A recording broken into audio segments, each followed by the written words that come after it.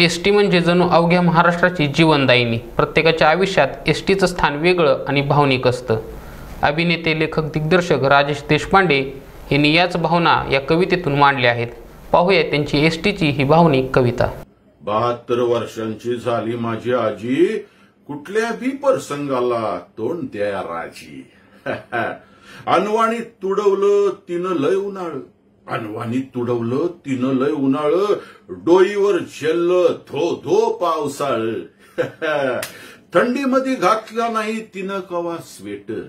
थंडीमध्ये घातला नाही तिनं कवा स्वेटर.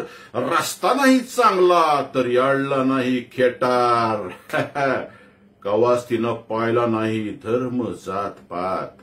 कवाच तिनं पाहिला नाही धर्म जात पात. गरीब असो वा अमीर घेतलं तिनात समद्यांच्या सुरक्षेची चिंता तिला भारी. समद्यांच्या सुरक्षेची चिंता तिला भारी. न चुकता असते तिची गावोगावी वारी. वयामुळं झाला आता आवाज जरा घोगरा वयामुळं झाला आता आवाज जरा घोगरा तरी बी रात राणी माळी टवटवीत मोगरा. थकली नाही वाकली नाही हाय तिच्यात फायर थकली नाही वाकली नाही हाय तिच्यात फायर. खाट येवो वळण न येवो होत नाही ती टायर.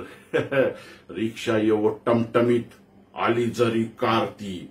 रिक्षा येवो टमटमीत आली जरी कारती. समदे बघती हिचीच वाट एसटी थांब्यावरती. एकच हाय खंत तिला डोळे तिचे भरती. एकच हाय खंत तिला डोळे तिचे भरती.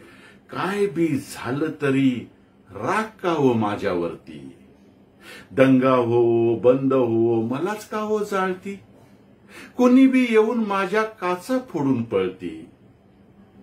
पैक्याच्या जोरावर किती बी गाड्या नटवा.